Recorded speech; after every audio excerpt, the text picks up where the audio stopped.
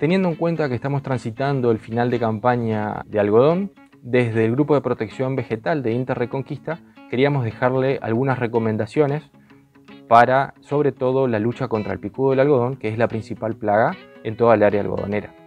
En primer lugar, para aquellos lotes que aún no, han, no han sido cosechados, es tratar de realizar la cosecha de una manera rápida y eficiente, para lo cual es sumamente importante poder planificarla con tiempo, teniendo en cuenta la capacidad operativa en el establecimiento. En segundo lugar, y quizá la acción más importante en este punto del ciclo del cultivo es la destrucción del rastrojo. Este punto está determinado por ley que exige o reglamenta una fecha límite. Aún así, desde Interreconquista recomendamos hacerlo inmediatamente después de la cosecha y esto puede hacerse de manera mecánica, de manera química o una combinación de ambas. Recomendamos nuestra tercera opción como la más adecuada. En tercer lugar, la eliminación de plantas voluntarias o plantas guachas, ya sea dentro del lote como en borduras de caminos y banquinas de rutas.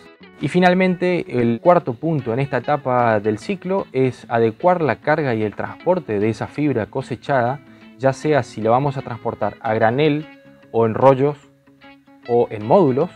Recordamos que la carga tiene que estar completamente cubierta o enlonada para así evitar la dispersión de semillas en, banquinas y con esto nuevamente estar eh, dejando algún refugio y alimento al picudo.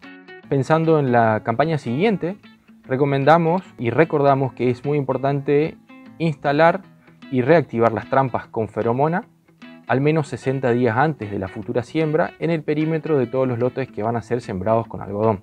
Recordamos que es importante realizar el cambio de insecticida y feromonas cada 20 días para lo cual, por disponibilidad, los productores deben comunicarse con los técnicos asesores de APA. Y finalmente, el monitoreo de estas trampas.